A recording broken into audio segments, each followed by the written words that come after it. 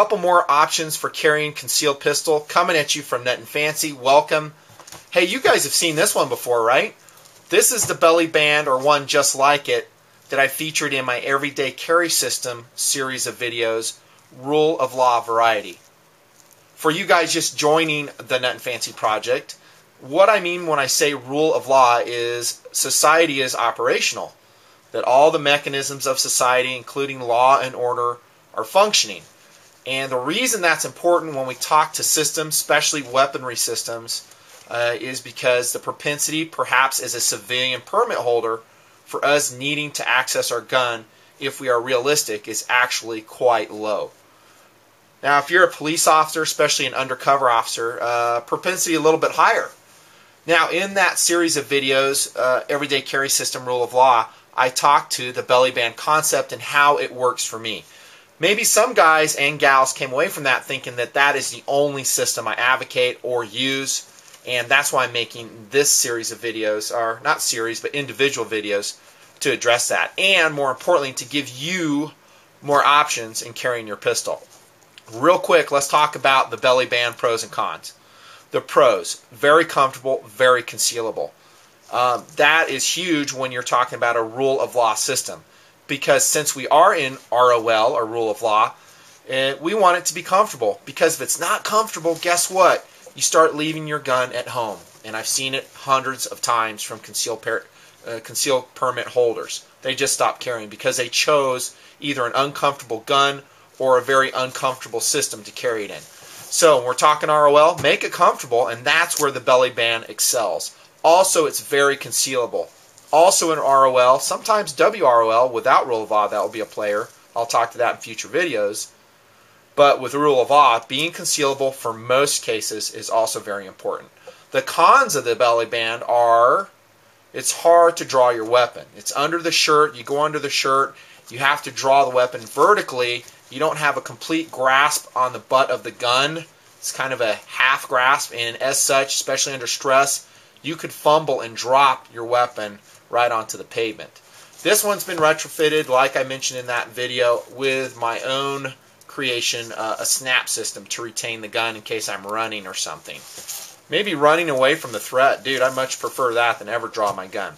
Hey, real quick, let me talk to guys that roll in or may have found this video and say, well, you guys are talking, you know, you you know, you're looking for problems. You really you want to go armed.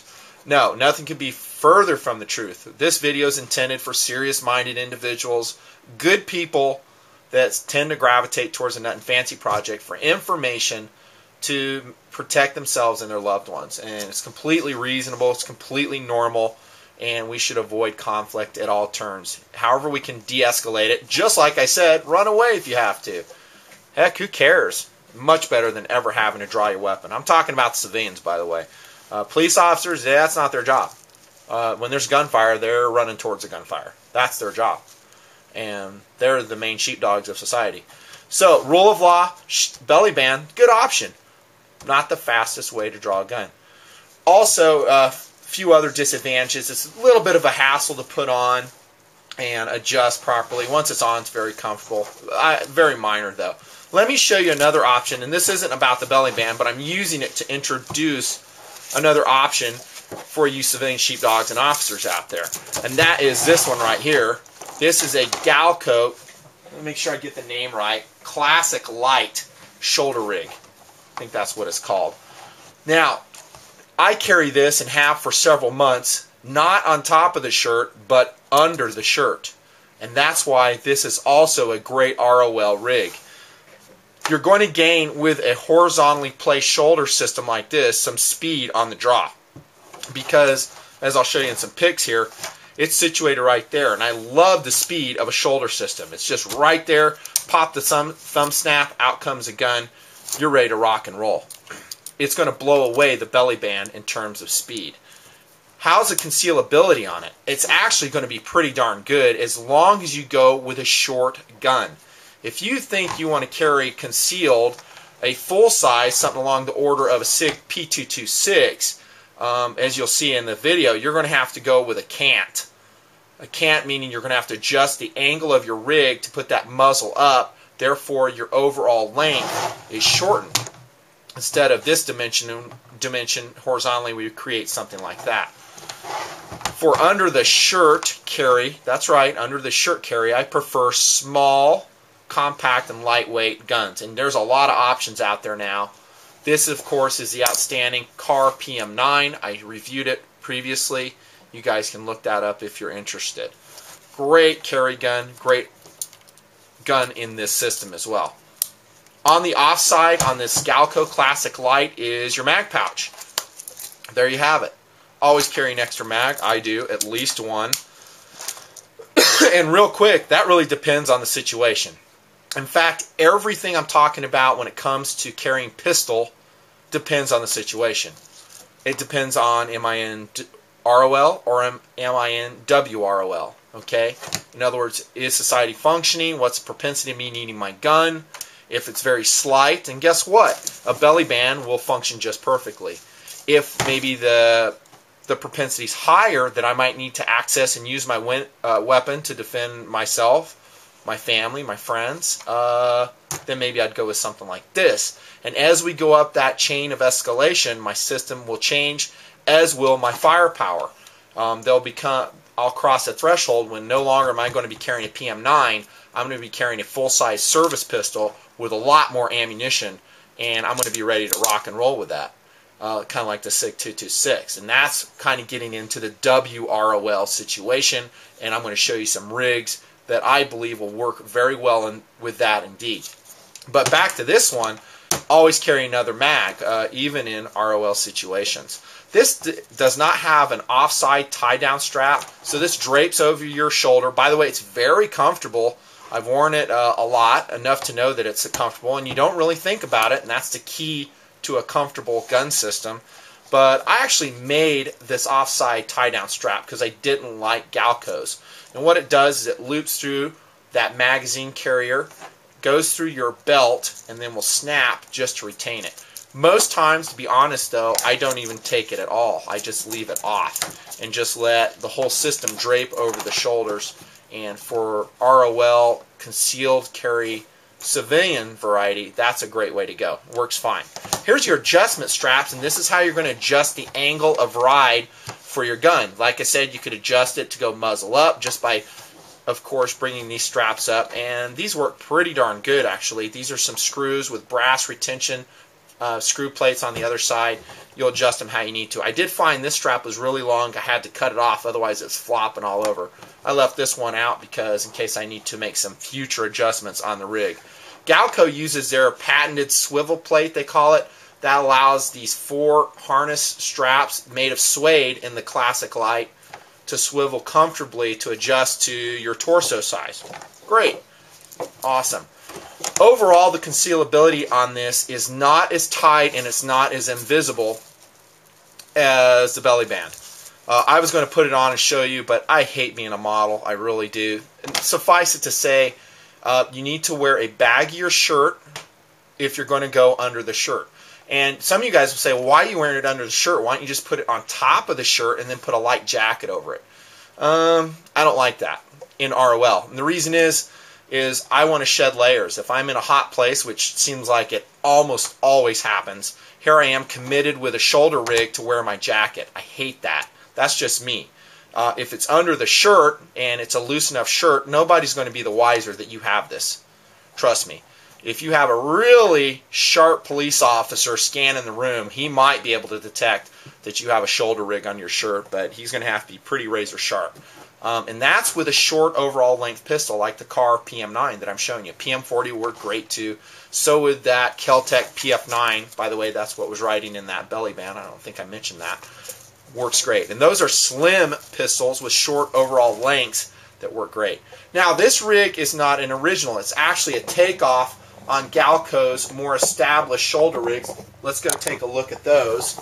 And you saw this on maybe reruns of Miami Vice. And it is, of course, a Galco Miami Classic shoulder holster. That's a great shoulder holster. I don't own one, never have. I have exam- examined them a lot, and I've had buddies that had them, and they spoke very highly of them, both in comfort, durability, and I really like this one, how the horizontal presentation on the magazines. This one's carrying, looks like a full-size Glock 17. Not going to be a super concealable rig. Now, if you're a on-duty police officer, who cares, right? I mean, that's your job to carry. If anybody finds out, no big deal. Just depends on the you know rules, laws, and regulations of your locality. If you're a civilian permit holder, generally I like to keep it on the down low when I'm armed, and I really like that magazine. Then the other one, the magazine holder. The other one is the Galco Jackass shoulder rig. I like that name. That's fun.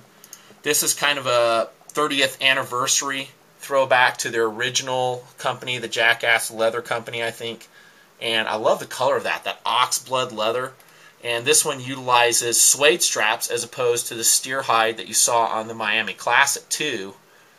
Nice holster. But look at the prices. You're going to pay for these. 122 for that one.